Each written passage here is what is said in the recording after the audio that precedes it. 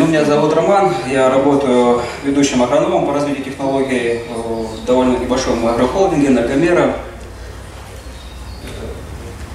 И сейчас хотел бы тоже немного рассказать о результатах той работы, которую мы проводим. Как-то еще в марте этого года, когда планировалось проведение данного мероприятия, Расул Гаджумарыч мне позвонил, обратился говорит, можешь ли ты рассказать, поведать, как у, у нас в холдинге решали проблему, ну, проблемы 2020 года, которые возникали на полях наших предприятий.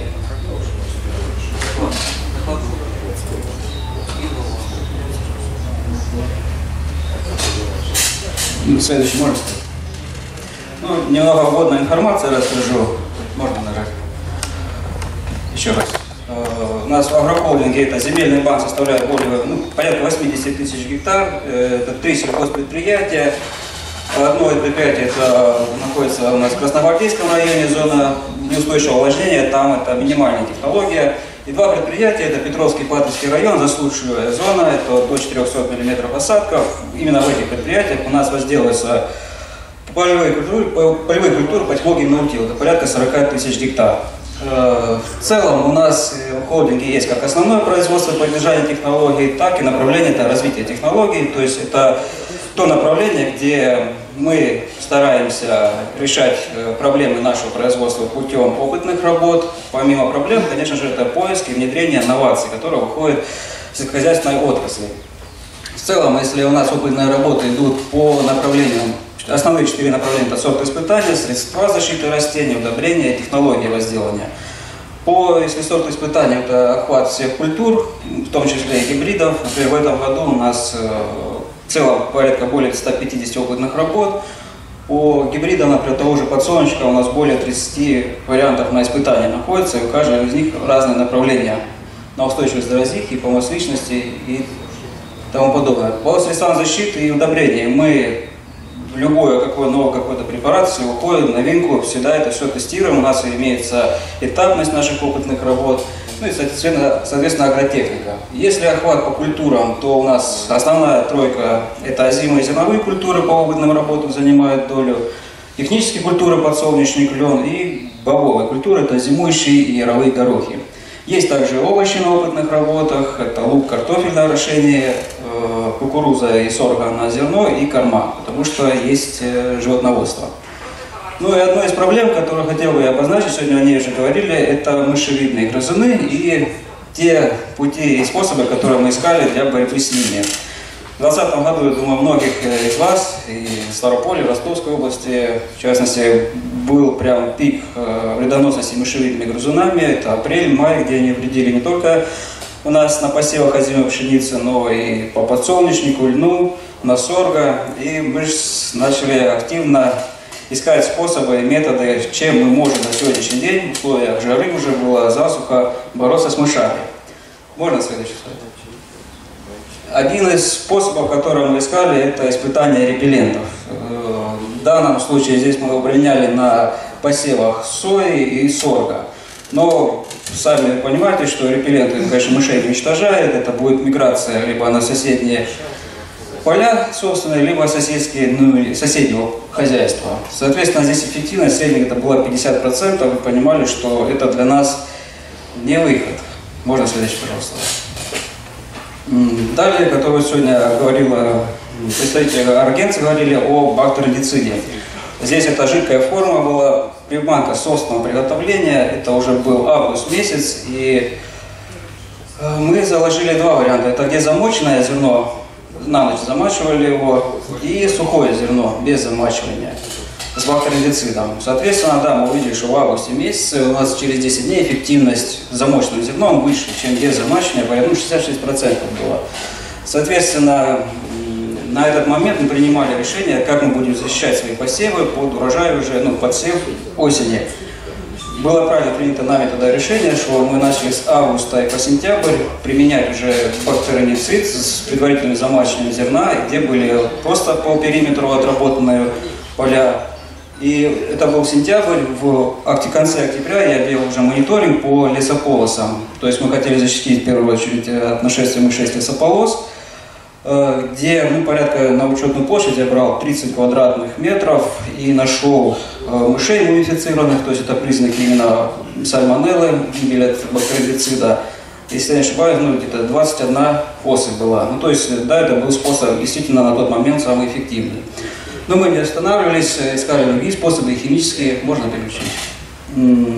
Нашли на рынке такие гранулы, как мартарат ратидион, потому что у них э, сопоставимо, но одинаковое действующее вещество с бромбутеиратикумом, э, но те приманки, которые мы применяли, то есть мышь зерно не ела. Мы искали другие способы. Нашли гранулы, начали применять. Два способа было. Это и ручной способ, и э, несение ну, румов, разбрасывания.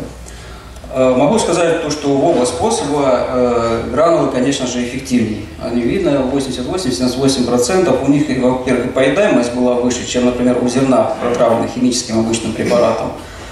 Э, но он, конечно, по экономике дороже. Это вот эффективность ручного способа. Дальше можно? И разбросной способ. Мы видим, что через 10 дней пошло повторное заселение. Тут э, вопрос, да, действительно стоит, как Сергей Андреевич сказал, что мышь придет туда, если мы положили в норку, мышь придет там же есть, съест. Разбросной способ, мышь где-то одну поймала э, зерно, и этой дозы ей не хватает для полного уничтожения. Я еще вот хотел, ну, когда гранулы выглядят, распространение легко уносится, рома без проблем. Э, я еще задумался по поводу мышей. Давайте следующий слайд можно? Э, каким сейчас мы начали действовать путем? Вроде мы нашли себе выход, э, то, что можно зерно замачивать и эффективность выше приманок, но не всегда это так. Сейчас мы начали применять у себя оценку поедаемости приманки в динамике в зависимости от сезона.